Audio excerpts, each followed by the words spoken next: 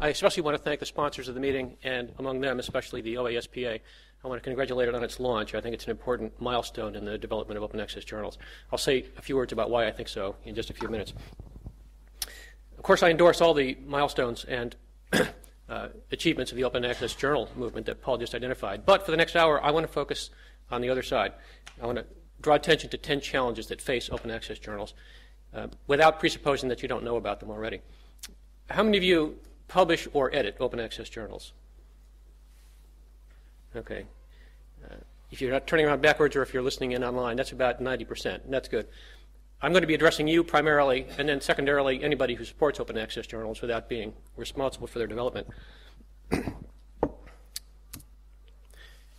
me just jump right in. Oh, by the way, I initially titled this talk 12 Challenges to Open Access Journals, and I cut it down to 10 so that I could fit it into an hour.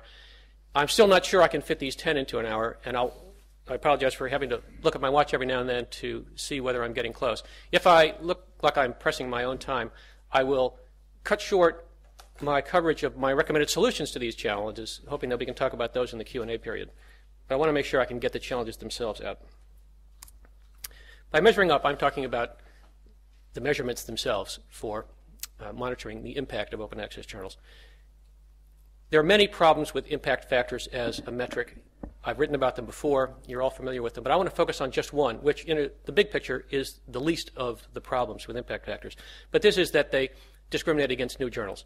This is not a conspiracy. It's not a prejudice. You can't give a journal an impact factor until it's at least two years old. That's the way the calculation is done. But as a result, new journals don't have impact factors. And then after two years, uh, only selected journals get impact factors because Thomson doesn't have the resources to compute them for everybody. As a result, you've got this built in discrimination, and insofar as impact factors become the standard, then it's a standard which uh, makes it difficult for new journals to launch themselves or to achieve the recognition through that metric that they deserve. Uh, the corresponding problem is that most open access journals are new. The problem of achieving uh, impact factor recognition for a new journal is the same for subscription journals as it is for open access journals. When they're new, they don't have this measure. But the problem is worse for open access journals precisely because a larger percentage of them are new than for subscription journals. The solution, of course, is alternative metrics, but I want to add right away we're not doing this in order to favor or find some new metrics that are biased in the opposite direction. The point is to measure impact more accurately, more sensitively, more comprehensively, covering more journals, covering more aspects of impact. I don't expect to be able to read this slide. I just wanted to show you that a lot of alternative metrics are in development. I don't have uh, opinions about them, or at least I don't want to get into that. I'd rather leave their development and their evaluation to experts. But the point is, this process is well underway. There are lots of uh, data elements you can draw upon to measure impact, and people are already starting to draw upon them. They're starting to share those. They're starting to discuss uh, which way of dealing with those elements is most useful. One way to contribute to that uh, progress is to share your impact data with people who are building these alternative metrics. Uh, PLOS One is doing this in a beautiful pioneering way with what it calls article level impact data. Uh, to quote PLOS One, it's sharing its own usage data, page views, citations, social networking links, press coverage, comments, and user ratings. What's nice is that some of these are uh, available to the public. Some of them are not available to the public unless the publisher makes them available. PLOS One is deciding to make them available. In that sense, it is accelerating the development of these metrics, and it's overcoming one of the other problems with impact factors that I didn't go into, which is they don't measure the impact of individual articles, only the impact of uh, entire journals. So in addition to supporting these, the development of these metrics, it's important to support the use of them as they become mature, as they become sophisticated. Uh, the uh, fact that impact factors discriminate against new journals wouldn't harm open access journals unless they were the standard, unless they were the standard used by promotion and tenure committees and the standard used by uh, grant giving research funding agencies. But they are the standard. And so as the new, new, new metrics become uh, mature, it's important to advocate that these important decision making bodies shift over. Now, as Paul pointed out, and as I say whenever I have a chance, there is an open access impact advantage, and open access journal articles are cited more often than toll access articles, sometimes from the same issues of the same journal.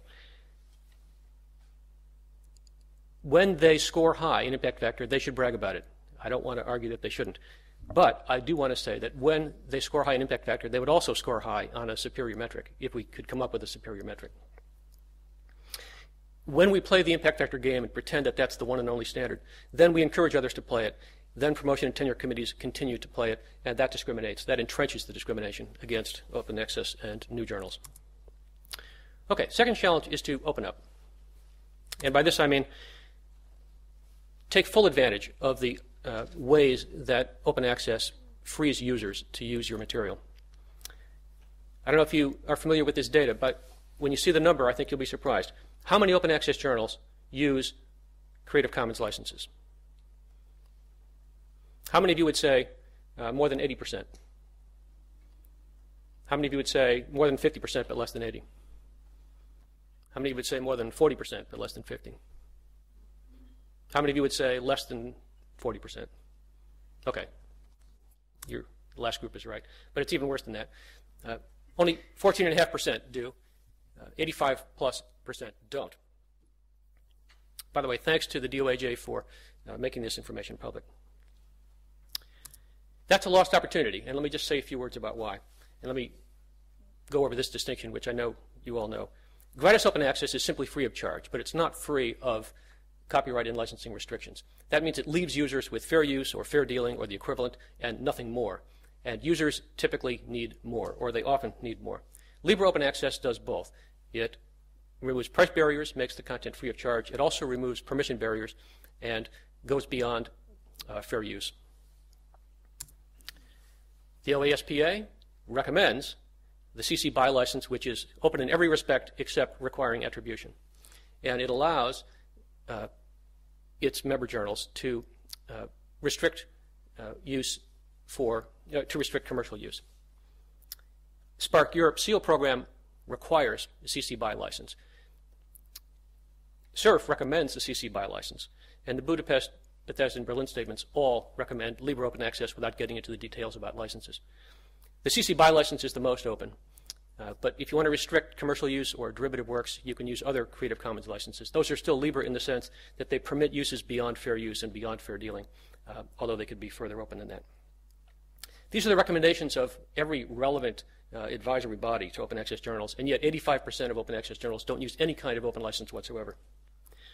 I know that some open access journals want to restrict commercial use. Uh, they resist the recommendation to use a CC BY license. That's not the debate I want to get into today. If you want to restrict commercial use, then I urge you to use an open license which restricts commercial use. It's still better than not using any open license at all. How many open access journals in the DOAJ uh, use a CC BY license? That is, uh, the earlier statistic was on how many use open licenses whatsoever.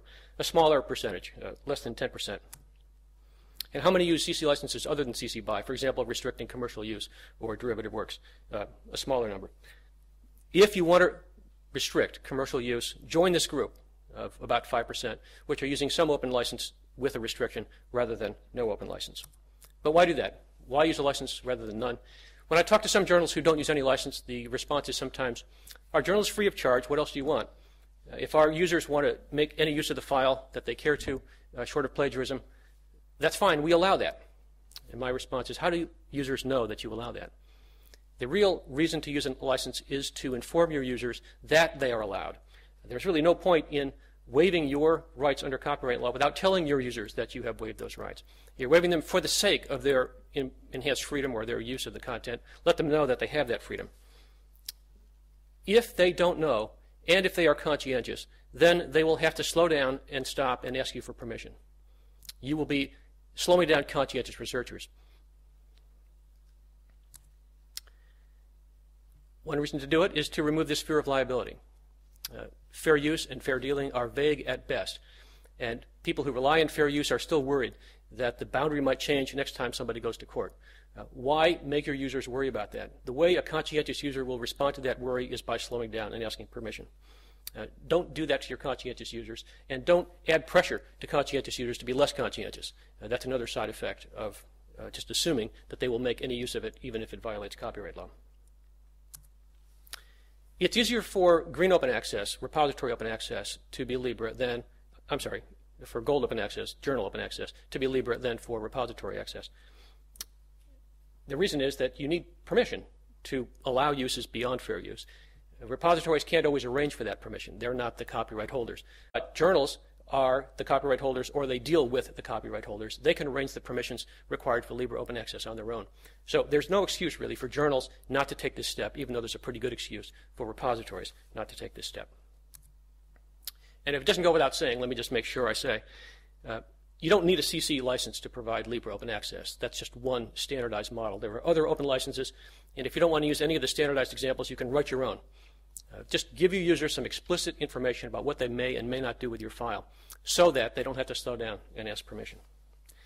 If you don't, if you say, I'm just assuming that my users will understand they can do whatever they want with the file, you're, uh, legally speaking, using an all rights reserved copyright and asking your users to violate that copyright uh, in the name of some unspoken assumption.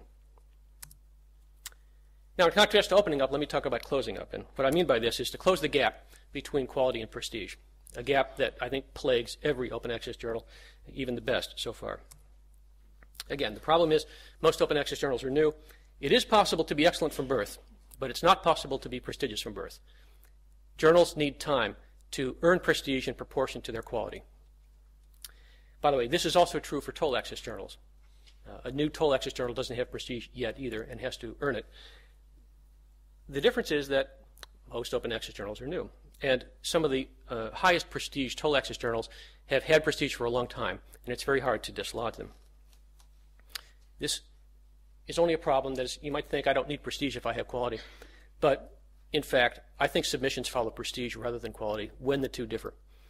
I think universities encourage their faculty to submit to high prestige journals rather than high quality journals because they don't always know what the high quality journals are. If the high quality journals don't yet have prestige, uh, most universities won't know. And so they follow impact factors or they follow prestige, which are not the same thing, but they are both different from actual quality.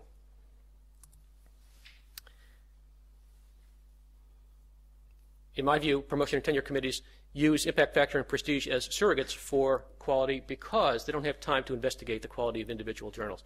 They tend to be multidisciplinary, uh, unlike hiring committees, which are in the discipline of the candidate that they're hiring. Promotion and tenure committees are standing committees that evaluate everybody who comes along. They don't have expertise in any particular field. They need some way for non experts to judge experts. So they turn back on something like journal prestige or impact factor uh, that's available to them as outsiders. It's very hard to dislodge that. Long term, we have to persuade promotion and tenure committees to take up the more time consuming but also more uh, authentic process of evaluating actual quality and not just using prestige as a surrogate. I used to think it was just a matter of time for high quality open access journals to acquire the prestige uh, in proportion to their quality, but I no longer think it is just a matter of time. The reason is the high prestige journals are must haves for any library budget. But library budgets are finite, and only so many journals can be in that must have category. Moreover, only so many journals can fit into the high prestige uh, segment of your limited attention. All of us have a finite amount of attention, the way libraries have finite budgets. So we have limited uh, space for brand recognition, and we're already giving it to the journals that already have prestige. In that sense, the incumbents with a head start have an advantage. The incumbents with a head start are overwhelmingly toll access. The newcomers will always have a harder time breaking in. That's the challenge. Uh, all of you who are responsible for open access journals are working on the solution. I don't think I have any advice that you haven't already thought of, but I'll just mention a few things. Uh, if you're already launched, it's too late to try the strategy of converting uh, toll access journals that are already prestigious. But I just want to point out that happens all the time. When it happens, the high prestige journal converting to open access retains its prestige, retains its membership, uh, retains its impact factor, retains all the things that it used to have as a toll access journal. The hard thing is for new open access journals to acquire this prestige and close that gap. Unfortunately, the lesson from all of this is that time is necessary, even if time is not sufficient.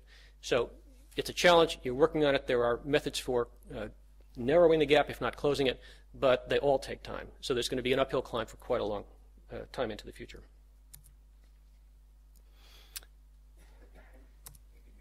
As you know, some critics of open access journals believe that they bypass peer review. Some believe they skimp on peer review. Some believe that those which charge publication fees corrupt peer review. Some confuse lack of prestige with lack of quality. And the attitude here is if I haven't heard of it, how good could it be? And some have encountered a weak open access journal and generalize right away to the whole class of open access journals. And of course, there are weak open access journals. That's a problem. That's a problem for all open access journals. One solution is to point to the ones that are high in quality, not just those that are also high in prestige and high in impact factor. Uh, another part of the solution is to point to the entire range of open access journals and admit that there are some weak ones, there are some strong ones. Open access is not unlike toll access in that we have this whole range of quality from top to bottom. Uh, that's not surprising to anybody, but it is ironic that one of the best ways to defend open access journals is not to defend all of them. If somebody points to a weak one, admit that it's weak. Don't defend it because it's open access, or don't defend its quality because it's open access. Then people get the idea that we're overlooking quality, we don't care about quality, and we just care about open access itself. And because many critics who take up this objection do confuse quality with prestige, it's important to point out the difference. Quality and prestige do diverge sometimes, even if they converge most of the time. When they diverge, they diverge most for new journals. And I think everybody understands that once it's pointed out to them. You just have to point it out. And likewise, most people understand the difference between quality and impact factors. And so journals without impact factors or who are still earning their impact factor uh, can be low on that, quali- that uh, front, but high in quality. Again, when you point it out, most people acknowledge that the factors that constitute journal quality are independent of the journal's access policies or business model. And I'm talking about the quality of the authors, quality of the editors, and the quality of the referees. Uh, we know that these can be just as high in open access journals as in toll access journals because they can be the very same people, the very same authors, the very same editors, the very same referees. And it's worth pointing out, if you ever get into the conversation long enough, that some factors that affect journal quality are actually superior at open access journals. And let me just point this one out. When a journal has a large number of excellent submissions, it doesn't have to reject any on grounds of limited space. And when it has a small number, uh, too few excellent submissions, then it does not have to lower its standards in order to fill out an issue. Subscription journals feel the pressure to lower standards to fill out an issue because if they publish a short issue, they shortchange their subscribers. This is one of the hidden blessings of not having subscribers. There's nobody to shortchange. So you can limit your output to the submissions that you actually think are excellent. Here's the problem. It turns out or at least it seems to turn out, that the digital content that's most embarrassing lasts the longest, like your embarrassing emails, your embarrassing photographs on Facebook. And the valuable stuff tends to disappear without a trace. I wish we could figure that mystery out. I think many open access advocates tune out when they hear talk about preservation because they think it's code for opposition to open access. It's some kind of standard or criterion that open access journals can't meet, uh, and by raising it at all, it's a way of uh, raising the bar too high for open access journals. That's false. Open access journals can have serious preservation programs, and they should. In proportion to the importance of your work should be the importance of preservation. If you publish important stuff, you ought to preserve that stuff, and you ought to let the world know that you're preserving it so that they trust you as a place where they can uh, send their work. I don't think open access journals have to wait for this. They can launch first and find a good preservation solution second. But if you've already launched and you don't yet have a preservation solution, it's time to have one, and then also time to tell the world about it. Again, toll access digital journals or toll access online only journals have the same problem. The difference is that there are many preservation solutions, and only some of them are OA friendly. Some of them are not OA friendly. And open access journals tend to limit themselves to the OA friendly ones, or, or should. Here's some of the OA friendly ones. I don't want to uh, close the door to other options. I just want to point out that there are some so that you can start to look at them. LOCKSS is OA friendly, and it's free of charge to participate, also free of charge to get access to the stuff after it's uh, being preserved. The DOAJ solution is free of charge for journals and free of charge to access after it's uh, deposited. Many uh, OA publishers deposit their work, uh, their digital work, in national libraries who have developed well-earned reputations for stability and longevity. Uh, Biomed Central deposits in the National Library of the Netherlands just as the uh, DOAJ solution does. It doesn't have to be that library. It could be any other library. It could even be a university library. Uh, again, participation tends to be free of charge, and access to the content tends to be free of charge. I want to mention routine repository deposit as a somewhat different category. Biomed Central and PLOS journals and some others routinely deposit all their articles in PubMed Central or some other trusted repository. This is not as sophisticated a preservation solution as one of these others, but it's better than nothing, and it assures users, uh, authors as well as readers, that the content will be available even if the publisher fails, and that it'll be available openly if the publisher fails. Uh, there's no reason for an open access journal not to do that. Find a repository, routinely deposit all of your work there, and give that extra layer of assurance to the people who are looking for it. Microtome is uh, a business that backs up or preserves open access content in print. And one of the advantages of doing that is that it answers all doubts about digital preservation.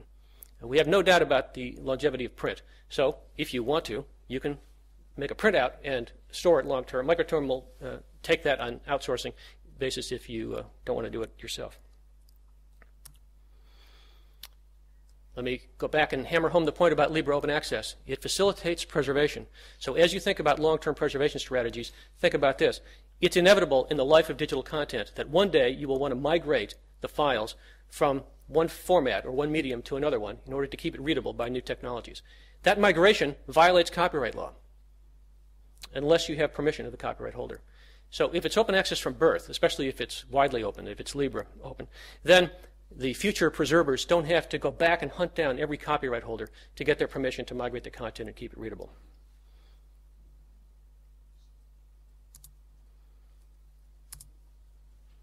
Serious question. Uh, if you're not asking it, you know that other people are asking it. I guess I should read these for the people who aren't in the room. Uh, our open access journal is a scam. Our fee based open access journals a scam. Are some fee based open access journals scams? Do some observers believe some fee based open access journals are scams? Does this belief harm open access journals as a class? You are responsible for making open access journals, for supporting them in other ways. Uh, you don't believe the bulk of them are scams, but I bet you would give a yes answer to at least two, if not three, of these questions. That's the challenge. And you're not the only ones. The people who are less supportive of open access journals would give yes answers to more. It's hard to define a scam in this context, and I wish I had a list of necessary and sufficient conditions so that we could positively identify them and then drive them out of the field. But I can't, and if you can, I, I really do encourage you to tell me what you know.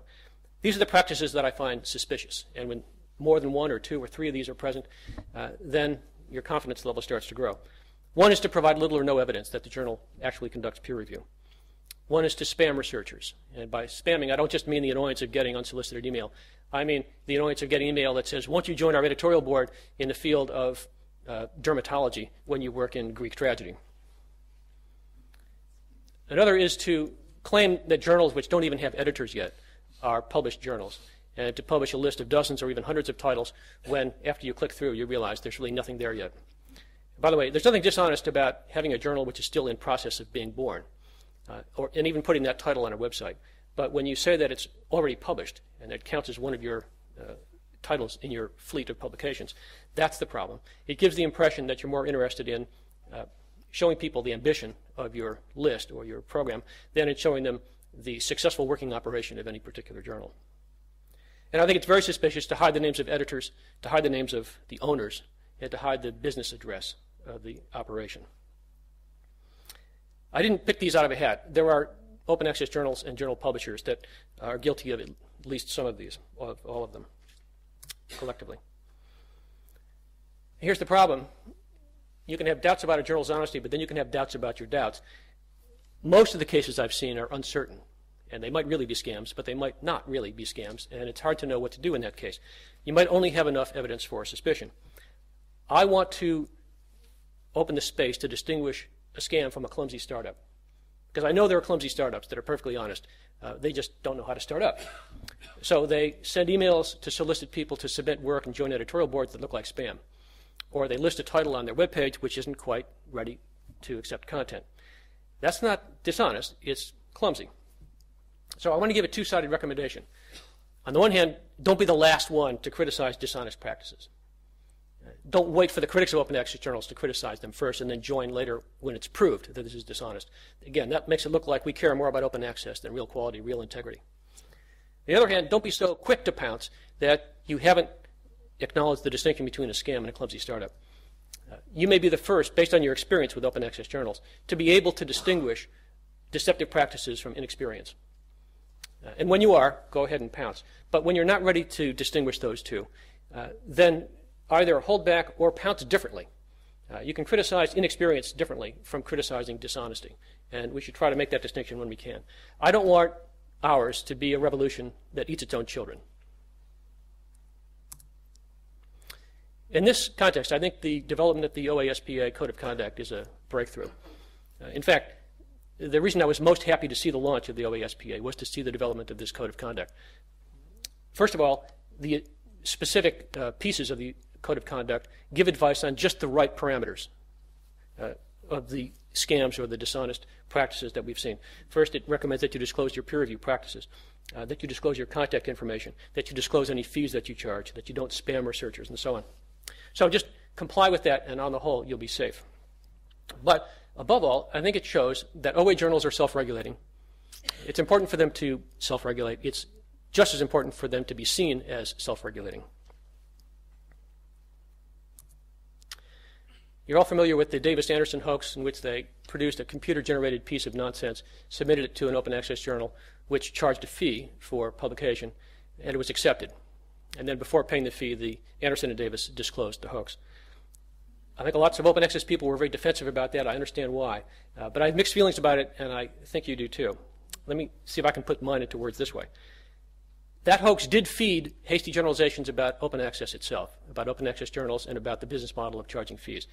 These are hasty because not, open, not all open access journals do this, not all fee based open access journals do this. There isn't even pressure uh, rising intrinsically from open access to do this. But lots of observers uh, who went into print on the subject drew those generalizations. But it also helps us because that particular scam is much less likely to occur again. Uh, maybe I shouldn't say much. Uh, I don't want to measure the degree of deterrence here. Imagine that you were running a similar scam, or that you were equally lax or incompetent, and that you would have accepted that, and you were trying, in fact, to game the system by uh, generating uh, publication fees from unknowing users you would think twice after the hoax. You would want to change your model. You'd want to be more conscientious. You'd want to at least eliminate the computer generated nonsense. That's fine. That's progress. That's a step forward. I don't know how much it will deter. If it deters some, I don't know how long it will deter. But it will have a deterrent effect. That's good. It helps us drive those journals out of the field. We need that. All open access journals need that. Now, since that hoax was focused on publication fee journals. Let me talk about these in particular. There are two doubts about publication fees that I want to mention. One is that they corrupt peer review. That's a problem for honest open access journals because they don't corrupt peer review. And the other is that they must come out of the author's pocket. The problem there is that that frightens authors to death. Uh, authors know perfectly well that at subscription journals, they don't have to pay out of pocket, although sometimes they have to pay uh, page charges out of pocket or find someone to pay on their behalf. And they forget that when they compare open access journals with toll access journals. In responding to the corruption charge, there are a couple of strategies, and again, you all know about them. One is to point to the business practices, the financial firewalls that are in place at open access journals, so that the people within the operation who know about the request for a waiver or who know about the business fee are not the ones who are judging the worth of an article. Uh, and then simply point to the high quality and the integrity of uh, journals that charge fees. You don't have to defend, and you shouldn't defend, all the practices of all the journals. Again, some are low in quality, some are low in honesty. Uh, point to the ones that are honest and high in quality in order to show that that's possible, in order to show that nothing intrinsic uh, about open access is leading to this kind of corruption. And on scaring authors, I just want to make the point there's no reason to call these author fees. Author fees is a, a misleading label. Uh, it's false for the majority of journals that don't charge any fees at all. And for the journals that do charge fees, it's false and misleading because a good deal of the time, and sometimes most of the time, those fees are not paid by authors out of pocket. They are paid by funding agencies or by an increasing number of employers and universities. So I don't want to change the label in order to have a euphemism to cover up the fact that there's a fee here. I want a different label which is more accurate and also less frightening. Publication fees is perfectly accurate and less frightening. Processing fees is perfectly accurate. Uh, labels count.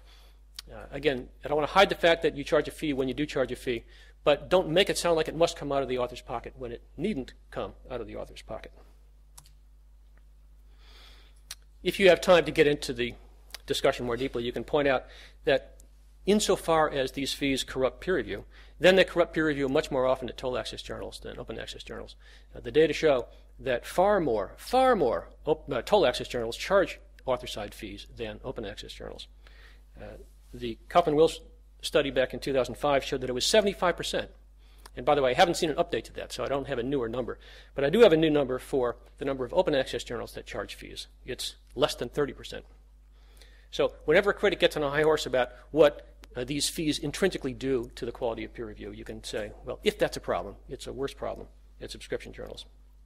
Uh, by the way, that kind of tu quoque, or they do it too, isn't a full defense. Uh, you still have to show that you're, uh, you've got a financial firewall in place. But if anybody wants to draw the generalization about what they do, they have to see the big picture. Likewise, if the incentive to uh, generate fees is, or generate revenue more broadly is supposed to corrupt peer review by lowering standards so you can accept more articles, that is also a worse problem at toll access journals than open access journals. The reason is that far more open uh, toll access journals make a profit and justify their increased prices by their increased volume. The same problem. We've increased our volume, therefore we should charge more. But every time they increase their price, they actually have built in a larger margin for profit than the typical open access journal publication fee does. Uh, we all have to remember, at least point out to our critics and our uh, onlookers, that these open access journal fees in most cases are subsistence level. They don't have big profits built in, even if they have small profits built in. So, who has a bigger incentive to raise prices, whether they do it through subscription fees or publication fees? Those who have built in larger profit margins. Let me talk about doubts about sustainability. Again, I'll read this for the people who weren't in the room. As you know, many academics believe open access journals couldn't possibly pay their bills. Therefore, they won't last very long.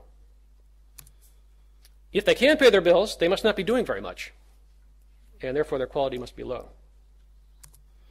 And of course, it's impossible for an open access publisher to make a profit or a surplus. You know these are false, but you also know that these beliefs are out there. Their existence is a challenge that we have to overcome. Because people who doubt the sustainability of open access journals are not going to submit work to open access journals, and they're not going to recommend them. They're not going to give them high recognition uh, for promotion and tenure. Here's some of the solution. Again, I don't want to pretend that you're not already doing this yourselves. First, point out those that are actually making profits or surpluses. Uh, Hindawi, Medknow, Biomed Central, uh, Optics One, PLOS One, or Optics Express, PLOS One, uh, and probably others, and a growing number over time.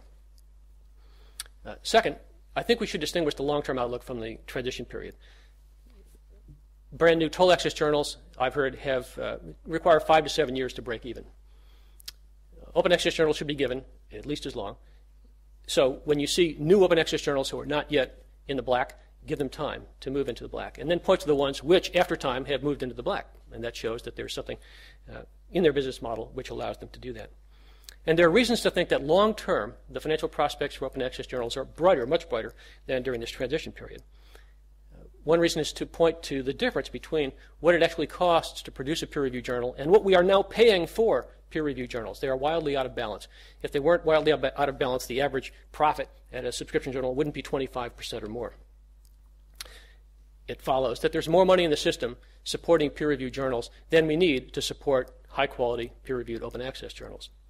Once we realize that, we realize that long term, if we make the right arrangements, we can use the money that's already in the system uh, to cover uh, the full range of open access in every uh, peer review and open access in every niche where peer review now exists. And finally, in the big picture, we should not look at the problem of the sustainability of open access separately from the problem of the sustainability of subscription journals. When the University of California looked into the sustainability of toll access journals, their conclusion in a letter to the president of the system was subscription based journals are incontrovertibly unsustainable. Again, this is not just a tu quoque. It's not as if just because they have problems, we don't have problems. Everybody has problems. But if you're trying to judge how sustainable open access journals are, you also have to judge that against uh, the alternative. It's not as if, obviously, subscription journals are sustainable. It's the challenger who gets to prove its sustainability. They all have to prove it. Just as with preservation, we shouldn't take people who care about sustainability as offering some kind of implicit objection or opposition to open access. I think many open access uh, defenders do that. They think sustainability is code for opposition. Not true. Again, just like preservation. If your work is important, it's worth preserving. If your work is important, then your business is worth sustaining. Sustainability is a value of importance to open access journals, just as it is for toll access journals. One way you can help out is if you're successful, insofar as you're successful, share your business data so other people can see how it worked. Lots of newer journals don't know yet how it works. They're feeling their way. If you felt your way, let others benefit from your experience. I'd like to propose, and maybe the OASPA could uh, facilitate this, that experienced open access journals can buddy up with new or inexperienced open access journals and help them out with the business decisions that come up on a day to day basis. And finally, I want to point out that the Open Access Directory, the OAD, has a page devoted to the variety of open access journal business models. As you know, there's a myth out there that there's only one business model for open access journals, namely publication fees. And not only is it not the only one, it's not even the majority model. There's a huge variety of models, and it's beneficial to everybody to acknowledge that there's a variety so that a new journal can find the one that fits it best, so that people who have a problem with one model uh, don't draw the conclusion that they have a problem with all of open access as such. One thing you can do is to help improve that page at the Open Access Directory. It's a wiki, so anybody can log on and uh, add their variation on the theme. The more we can show that there's a wide range, the more we can stimulate people's imagination to come up with new business models that actually fit different niches, different disciplines, different countries, different times.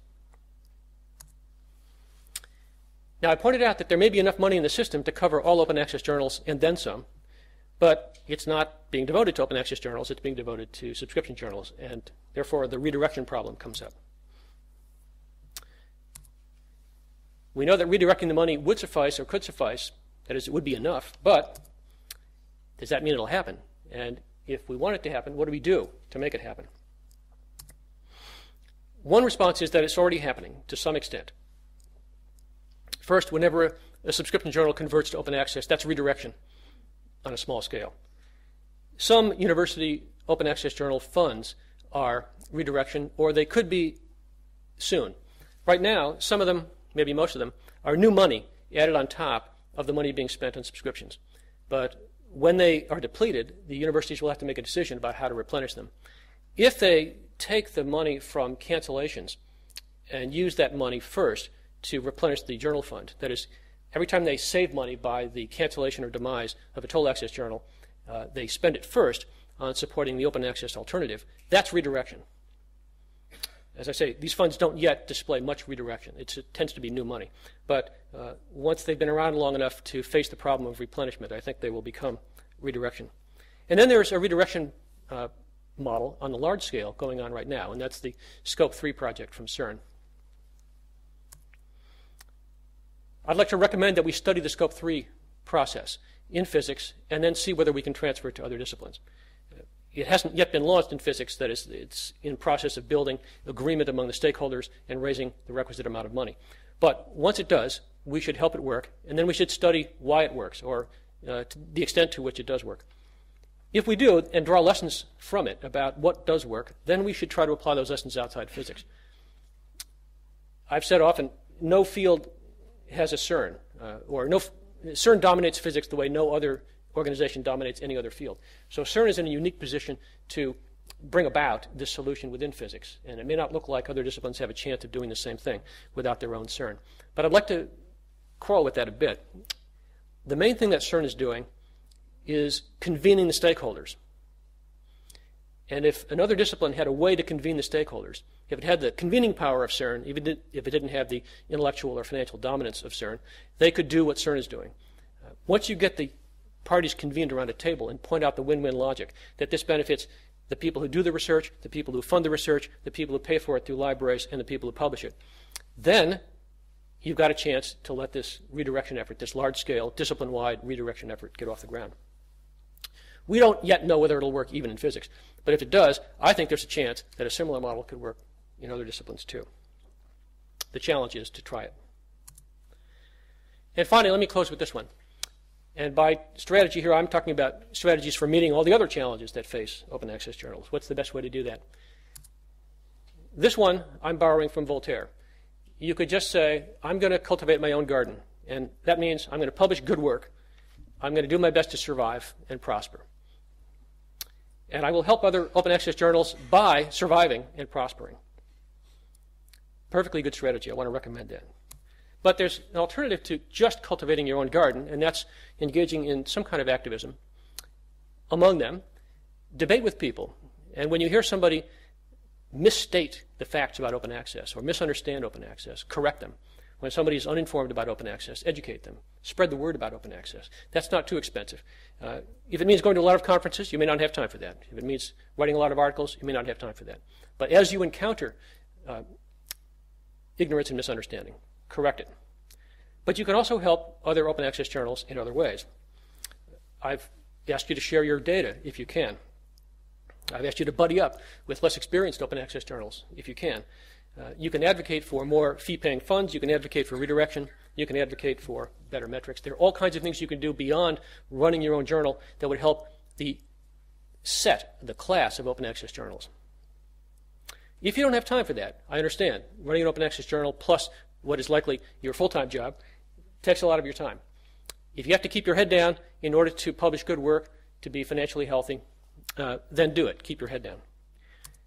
So, if you can't do both, choose gardening. Uh, we need your success. We need to point to it in order to uh, prove the viability of open access. But I just want to point out that while you're doing that, while you're focusing on just your own individual journal, misunderstandings about open access that are still in circulation will limit the submissions to your journal. The more people who misunderstand the quality of open access journals, the integrity of open access journals, the sustainability of open access journals, the fewer submissions you're going to get. Whenever an open access journal fails or whenever it commits an ethical lapse, that will affect your reputation. Again, it's not fair, it's not your operation that committed the lapse, but people will generalize and it'll affect your reputation. When your reputation plummets, your submissions will plummet. So, what I want to argue is that the best way to cultivate your own garden is also to have a little activism and to go out there and help the reputation of open access journals as such, the ones who deserve a good reputation, uh, and to address some of these practices that will benefit open access journals as a class. But just as your reputation is hostage to that of all the other open access journals, some of which may not deserve it, your good reputation can lift the reputation of other open access journals. This is the converse that as you cultivate your own garden, make your own journal a success, you can do something which improves the lot for all other open access journals. The most harmful objections to open access journals is that something intrinsic to open access limits their quality, their integrity, or their sustainability. And when you succeed as an individual journal, you show that that's false. You show that there's nothing intrinsic to open access which limits them that way. Thanks. I'm glad to take your questions.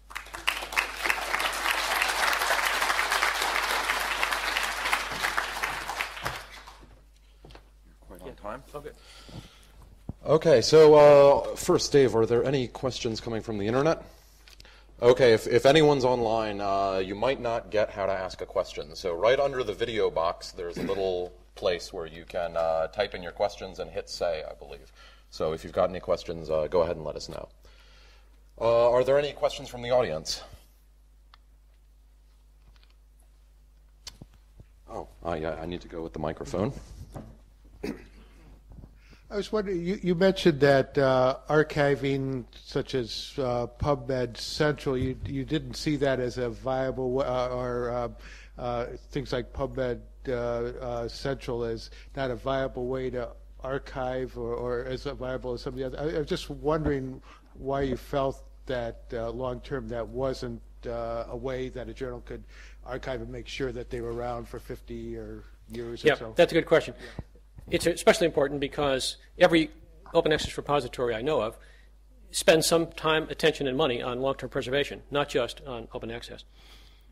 There are a couple differences. One is that uh, institution or university based repositories uh, don't yet have the financial security of PubMed Central. But even PubMed Central can go through fluctuations. Any government program can go through fluctuations. Uh, the national libraries that have been around for centuries are offering slightly more proof of longevity than Biomed Central. I expect Biomed Central to be around for centuries. I hope it will be. But if you're looking for longevity, which is really what preservation is all about, you have to look at institutions that have a track record and those that are offering promise. As I say, depositing routinely in a repository is much better than not. But for answering all doubts about preservation, you should do more too. You should also take one of those other solutions.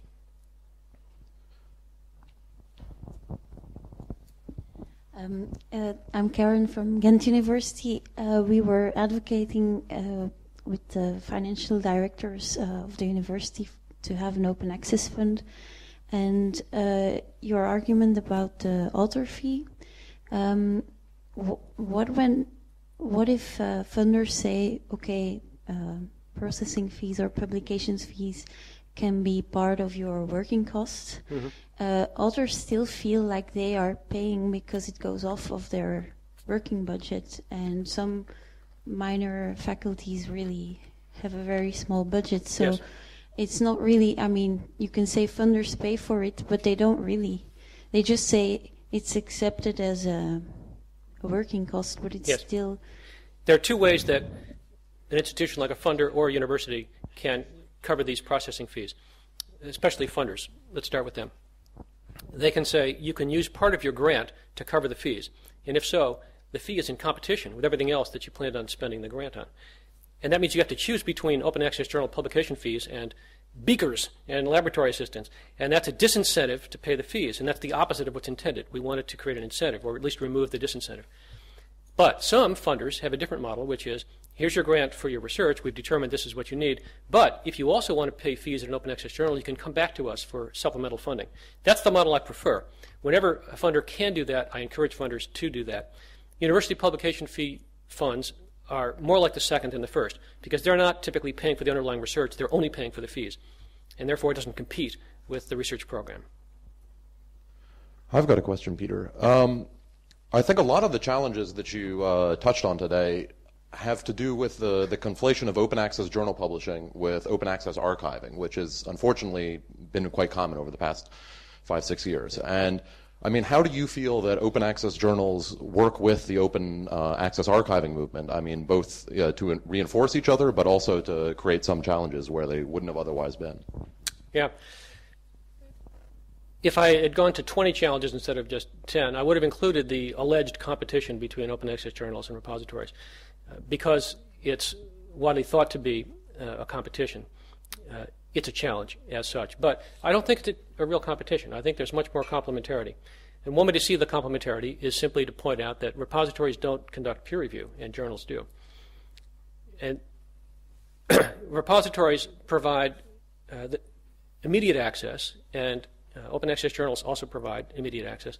Some repositories provide uh, time delayed access uh, because they can only uh, release things after an embargo because that's the uh, limitation they inherited from the publisher.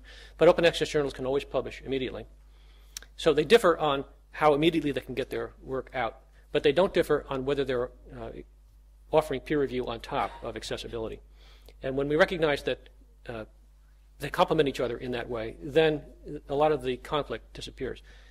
It's also the case that in the one field where open access journals and repositories have coexisted for the longest time, which is in physics, where they've coexisted since 1991, the open access journals have accepted the existence of the repository, the archive, and become symbiotic with it.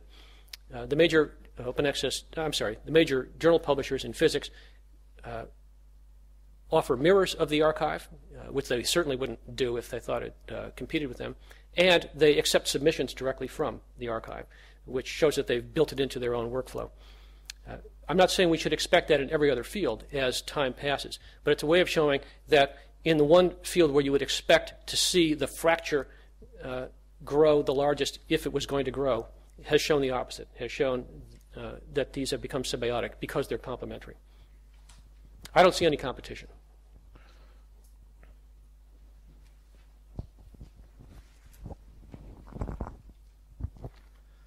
Peter, you, you've always been, in my view, quite pragmatic about open access, but uh, there is a, a, a, difficulty. The open access movement, I think, is seen as perhaps more dogmatic than pragmatic, and I think that that's a difficulty. It's not a challenge you mentioned, yep. but it's a major challenge. And I wonder what your views on that are, because I think that the idea that uh, you know to be a good open access advocate is to be dogmatic is very detrimental to uh, to making successes, yes. getting to successes, uh, especially on things like it has to be immediate, uh, it has to be uh, uh, you know governed by the right um, license and all that. I think there's there, there should be more space for pragmatism, even if it means in the shorter run we wouldn't get you know the full open access, but it deters publishers and people who feel that open access is a good thing can't quite, quite get there in one go, uh, but they may, if they just take smaller steps, eventually get there. If the movement would portray itself a bit more pragmatist uh, than, than, than dogma. Yes. Dogmatist, is that a word? But you know what I mean. I agree completely. The question is strategy. How do you change things that way?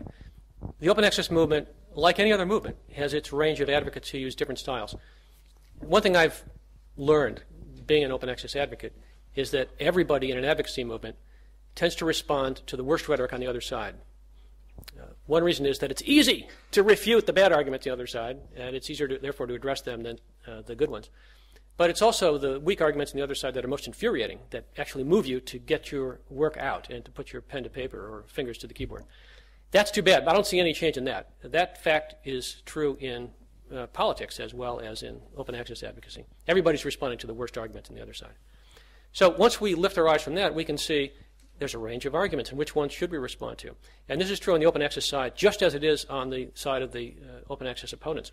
There's some very bad rhetoric, very dogmatic, very shrill rhetoric on the publisher side.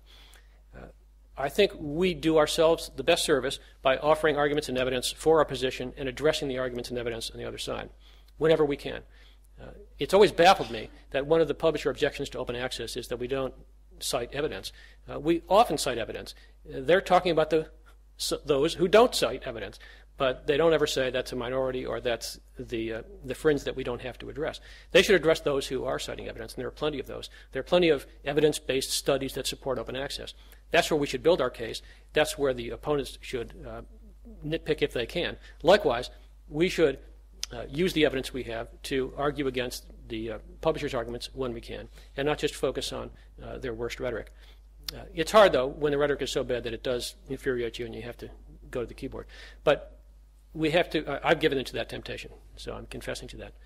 But if you're also offering evidence, if you're also um, willing to compromise when you see that that's pragmatically necessary, uh, I think that does help us in the long run. One of my personal principles is to recognize and celebrate progress wherever it occurs, even if it's piecemeal, even if it stops short of the kind of open access that I think would be optimal uh, there is an argument that sometimes piecemeal progress, if we celebrate it too soon, will slow down progress to another ideal. I try to be sensitive to that and decide with, whether this is a case of that or whether it's not a case of that, and whether to reject a compromise as being a, a retrograde or to accept it as being a piecemeal, a step in the right direction. That's always a hard call to make. But when you're dealing with colleagues who made the call differently from you, we also have to realize they're not necessarily dogmatic, they're not necessarily uh, short-sighted. They just disagree on the uh, a causal judgment. Will accepting this compromise slow us down more than it will speed us up, or will it speed us down more than it will slow us down? That's a good faith disagreement that I think we have to accept as part of any large movement. Uh, again, it's a sign of success. Uh, there are a lot of unfortunate or regrettable signs of success, but one of them is that we've reached the point where there are enough of us with enough different styles and enough different uh, studies that we could point to that we disagree among ourselves just about as often as we disagree with people who oppose open access outright. There's something wrong with that intrinsically. Look at the environmental movement, they're in the same boat. Um, look at practically any large, mature movement, and you'll see the same thing. So you can't expect to change the whole movement and uh, impose a code of civility uh, and evidence based reasoning on the whole thing. All you can do is control your own message. And if you're persistent, control your own message and say it often enough and in enough venues so that it becomes one of the targets for criticism so that the other side doesn't have to target the, uh, the easier uh, targets at the other end of the scale.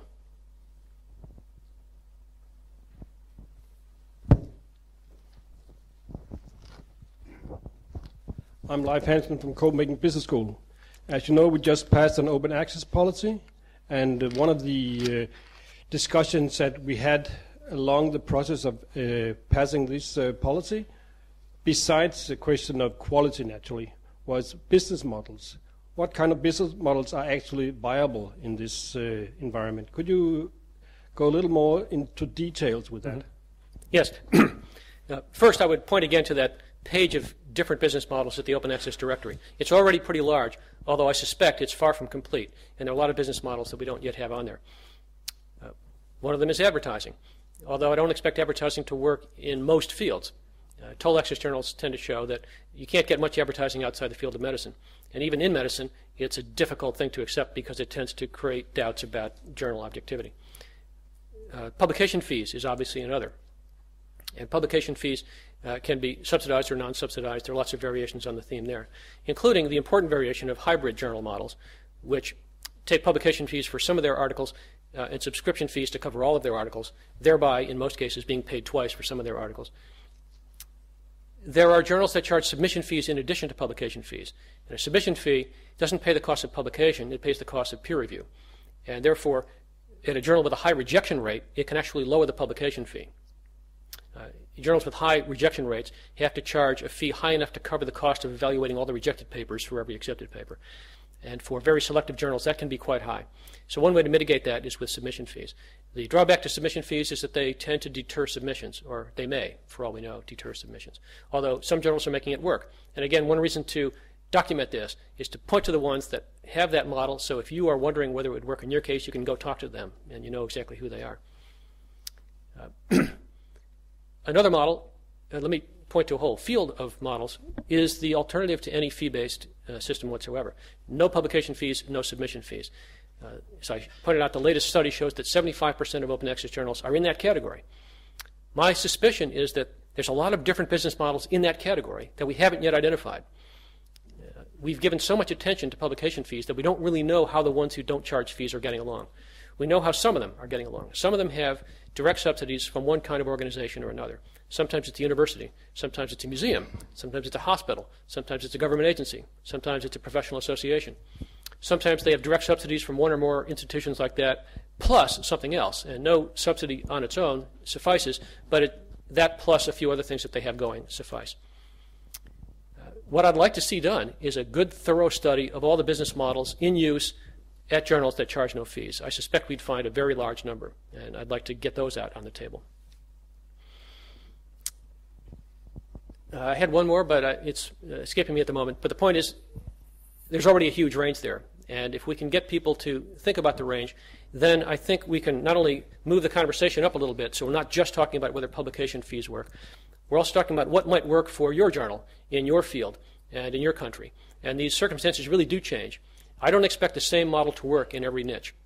And the more models we know, the more we are likely to find one that will work in our niche. I also think there are a lot of models that we haven't even discovered yet.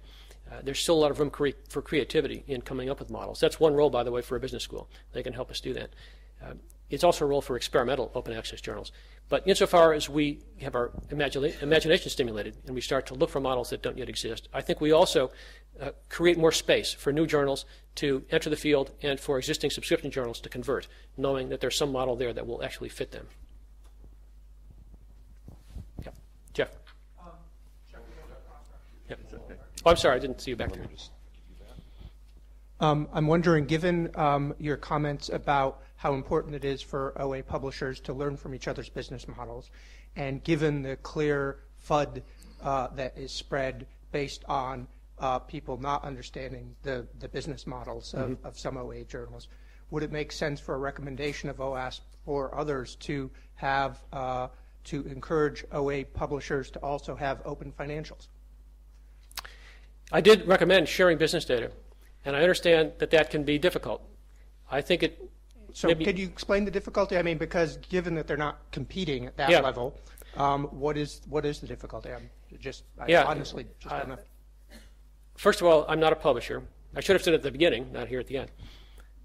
And I've never quite understood why it's a problem even at toll access journals. But that is, how much could a competitor really learn uh, which would give it a competitive advantage if you had shared your business data.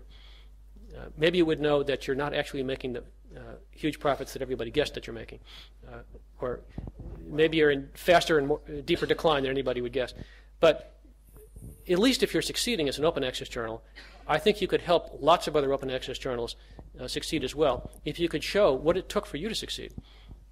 Uh, exactly. And I mean, in the case of a toll access journal, mm-hmm. they would they could legitimately claim that if they've discovered a process or something that has shaved you know millions of dollars off of their production costs or whatever, uh, they might be reluctant to share that information. Right. Whereas in the case of OA publishers, if they if they managed to do that, you'd think that they would in fact be very willing to share that. I would think so. so. There was one open access publisher from whom I haven't heard very much in the past couple of years, which came up with a new business model and patented it, and then wanted to charge a fee for anybody who would use it. And I just thought they misunderstood the point a little bit. Uh, Again, how harmful would it be if some other journal did use that model and actually used it successfully? As we know, journals, even in the same field, don't really compete for readers. Uh, they compete for authors. Uh, so there isn't a lot of harm in sharing your success, your recipe for success. And as I try to point out here, your reputation as an open access journal is a hostage to the reputations of the others. And the more you can help the others, the more you're helping yourself indirectly. Hi, uh, I'm Roger Jackson from Oxford University Press. I'm in a kind of unusual position in that I run our Oxford Open program, but I also run some humanities journals. And one of the things you didn't really touch on is the sort of awareness gap between the science and medical fraternity and the humanities and social sciences fraternity about open access, and even about, in some cases, online publication in general. And I was wondering what your thoughts are on how you can address the problems in terms of lack of funding and yes. well, lack of awareness in general in the humanities about open access. Yeah. First, I think the case for open access in the humanities is just as strong as it is in the sciences. There are reasons why it's moving more slowly in the humanities. I tried to enumerate them in an article a couple years ago, but we'll never quite overcome those. It'll still move more slowly in the humanities. But most open access journals in the humanities don't charge fees and probably shouldn't try to charge fees because the sources to pay those fees are simply less abundant. Most uh, uh, uh, maybe I shouldn't say most, a large number of conspicuous funders of medical research are willing to pay these fees. Uh, that's one reason why I think uh, fee based medical open access journals took off before open access journals in practically any other field. Uh, we'll never see that in the humanities. Uh, first of all, much less research in the humanities is funded relative to research in medicine. And then the humanities funders who do fund this research are less willing to pay the fees than funders in medicine. So it's just not a model that's likely to work in the humanities. That's one reason why it's important to point out the existence of other models and also to be creative about developing new models. A recent study of uh, business models in humanities journals pointed out that the fee based model is not likely to work there. Well, that's not really very surprising and it's not really very helpful. Uh, the report gave the impression that the fee based model is the only one that exists, and therefore, if it wouldn't work, then no model will work in the humanities. Well, that's false. The first part is true. The fee based model may not work well in the humanities. But humanities journals, uh, humanities open access journals, do exist. Uh, we don't yet know how prosperous they are or how close to financial viability they are. Some might be quite successful using a no fee model, and some of them might be uh, struggling with their no fee model. We don't really know. But there's variety within the no fee model category, as I pointed out. Uh, different kinds of institutional subsidies, uh, different kinds of uh, volunteerism, different kinds of advertising, different kinds of supplementary revenue from non-open access publications. There are different varieties of these uh, variations as well, the different combinations of these variations. So first I'd encourage us to finish the catalog of attested methods uh, and then to keep thinking about new methods, and then to study them with an eye to the special problems of the humanities. And they are special problems. Uh, it does matter, for example, that in the humanities, the cutting edge primary research is not the journal, it's the book. Uh, it does matter that the case for open access to books is much weaker than the case for open access to journals uh, because book authors make royalties and journal article authors do not. Uh, there are some systemic problems like that, plus the fact that much, much less humanities research is funded uh, than humanities research. Uh, it's also the case, and this is not widely known, that the rejection rate at most humanities journals is much higher than the rejection rate at most uh, STM journals. Much higher. Uh, when I first learned that, I was very surprised, but it's been replicated in study after study. That's another reason, if we didn't already have enough, to know that the fee-based model, is, uh, especially the publication fee model, is not going to work at humanities journals. It would have to be very high, and there'll be fewer people willing to pay it. But the more variety we see, the more hope I think we can give to our colleagues in the humanities. Uh, and by the way, I'm one. I'm from the humanities myself. Jan Hagerlid from the uh, OpenAccess.se program. Uh, there are a number of candidates to pay for publication fees. You have the research founders, you have universities, and you have the authors, of course. There are also different uh, criteria you might uh, put on that. Uh, one is that uh, you, you perhaps want to make it easy for authors and don't make any unnecessary obstacles. Another one might be that you want to have a cost-effective system, that you want to have competition into the system. So considering those criteria or those factors, Is there any sort of direction that you think is more better than the other? Should the funders pay? Should the universities have special funds, perhaps by using overhead from funders? Or should authors, is it good that authors pay so that they can actually see the costs, or should they pay part of it? I know there are a number of varieties here, and which way do you think we're heading, and which way do you think would be the mm-hmm. sort of uh, best solution? Uh, good question. For the time being, I'd like to say as many institutions as can be persuaded to pay fees should be persuaded to pay fees. So it's good that funders are doing it and good that universities are doing it. It's good that the number of funders who are doing it is growing. It's good that the number of universities who are doing it is growing. Uh, my colleague at Harvard, Stuart Shieber, just published an article advocating that many more universities get involved in paying these fees and that it's part of equity, not just uh, efficiency, to do it that way. Uh, I agree with that. I'd like to see all these institutions pay. Uh, first of all, one benefit would be there'd be more money in the system to pay the fees. Uh, another is that authors would be less frightened about fee-based models. the chances that they could find a sponsor to cover their fee goes up, and the more it goes up, the better. I don't see any downside to multiplying the numbers of institutions who pay. Uh, I think a university policy could well be crafted to say, we will pay your fee if it's not already covered by your funder, and to have you turn to your funder first if you have a funder. And of course, many publishing scholars don't have funders. You talked about competition, and I think with any fee based system, there's built in competition, precisely because journals compete for authors, even if they don't compete for readers, as they pointed out a minute ago. And so, as soon as you've got authors trying to arrange sponsorship for their articles, you have competition. And the people who pay those fees might be the ones feeling it more than authors themselves, but that doesn't really make much difference. If it's the university doing it, they're going to care that this journal charges twice what this journal charges. and doesn't seem to be offering twice what this journal charges. Libraries notice the same thing, by the way, but it has uh, less effect because both journals might be must have. And that's why journals don't compete for readers. They publish different articles, and if they're both important articles, you have to get access to the ones that happen to be the most expensive journal, even if it coexists in the same field with an inexpensive or a free journal. Uh, you still have to pay to get access. But if we're talking about where you publish in the first place, if one journal charges a high fee and one charges a low fee, and the one with a high fee is not really giving more, then the sponsor who's paying the fee is going to notice the difference and say, no, we're not going to do that. And one way to bring that home to the people who pay is for a university, for example, that says we will pay fees on your behalf, to cap them and say we'll pay fees up to a certain level on your behalf, a certain level per year on your behalf. So if you plan to publish eight articles this year, but we're only going to give you, let's say, $3,000 for the whole year, then you have to husband that money carefully. And you will look for journals with lower fees.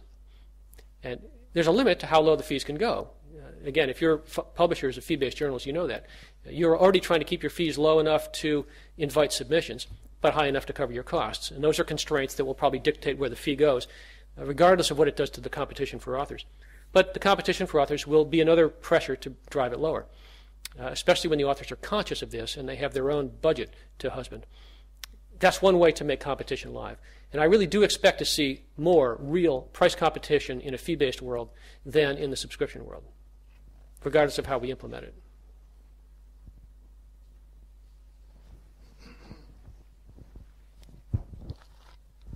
Thanks. I'm Susan Murray from AJOL, African Journals Online. Um, one of one of the ways I think that um, advocacy uh, can can help encourage um, authors to um, publish in open access journals is um, to promote funders um, to to mandate that that the the researchers put their stuff in in open access journals, but um, when I've been discussing that with, with some authors, they say that that um, steps on the toes of their academic freedom. Um, how does how does one answer that that question? I agree with the authors. I'm sorry to say I have to disagree with you. I don't think any institution, funder or university, should mandate submission to open access journals. At least not today. There are too few, and they're so few that you really do limit the academic freedom of the author. Submitting work to the journal of their choice is important. It's not just a luxury for them a, an institution can mandate open access without mandating gold open access. They can mandate green open access. Uh, that doesn't directly help open access journals, but it directly helps open access. And it is completely compatible with the academic freedom of the authors. So I don't think we should expect institutions to mandate submission to open access journals until open access journals take over the field. Uh, when that day arrives, there's essentially no limitation on your academic freedom to be faced with that kind of requirement. Uh, it would be like saying, submit to a peer reviewed journal, and most of them would be peer reviewed. And most of them would be uh, open access by that time. But until we get there, uh, we should not impose that kind of a mandate. On the other hand, we should keep our eye out for when we're getting to that point. Uh, and I've said this before, I think it's been lost uh, on some. I don't think this uh, recommendation to avoid gold open access mandates is uh, permanent. I think as the balance changes, as open access journals spread and take over, there'll be less imposition on author academic freedom to require submission to that kind of journal. But today, there are far too few. Uh, no matter how you count the total number of peer reviewed journals, it still looks like the number of open access journals is about 15%. Uh, that's too small. There's no reason to cut off 85% for reasons that are unrelated to quality and that simply have to do with business model and access policy. I do think every kind of policy recommending where people should submit work should take more into account uh, than uh, absolute quality. They should also take access into account. This was one of the recommendations uh, by the European Commission. We should consider quality of access alongside quality of content when we're thinking about journal quality. We should enlarge our concept of quality. I agree with all that. But we still are not at the point uh, where there is enough open access journals to mandate that without severely limiting academic freedom. Uh, as an academic, I have to say I cherish my academic freedom. Uh, I don't think it's an obstacle to all open access, but it's an obstacle to that strategy for open access. Are there any final questions? All right. Well, Okay. please thank our uh, keynote speaker uh, once more. Thank you very much. Peter.